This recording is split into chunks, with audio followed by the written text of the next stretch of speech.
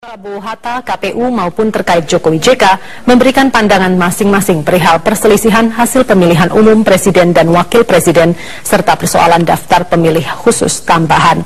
Ada yang menjabarkan undang-undang dan peraturan yang terkait, ada pula yang memberikan contoh-contoh kasus. Berikut cuplikannya juga menggelar sidang terakhir dugaan pelanggaran kode etik pemilu dengan menghadirkan saksi ahli bidang IT dari kubu Prabowo Hatta. Namun keterangan saksi ahli ini cenderung membingungkan. Informasi selengkapnya kita bergabung dengan reporter Metro TV Zaki Haikal. Ngaparai menjadi salah satu alasan mengapa jumlah kasus ini tak juga surut.